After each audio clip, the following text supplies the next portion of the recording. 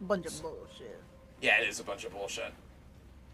I don't know why it's called the Impaler Catacombs. There's nothing in. Whoa! Oh, oh, oh, oh. Whoa! Oh no! Oh, oh, oh, oh! Oh, that's why it's called the Impaler Catacombs! Oh! Yep, that's it.